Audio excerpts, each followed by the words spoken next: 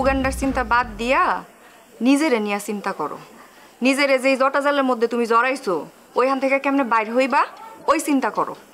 ওইখান থেকে বাইর হওয়ার কোনো সুযোগ নাই। বাইর হইলেই মরু। তার সাথে ফাইট দিন। বকুলপুরে আমি আদর্শ গ্রাম বানাবই একলা পারবা? ভালো কাজে একলাই শুরু করা লাগে। ভালো কাজের শুরুতে দোকলা পাওয়া খুব কঠিন।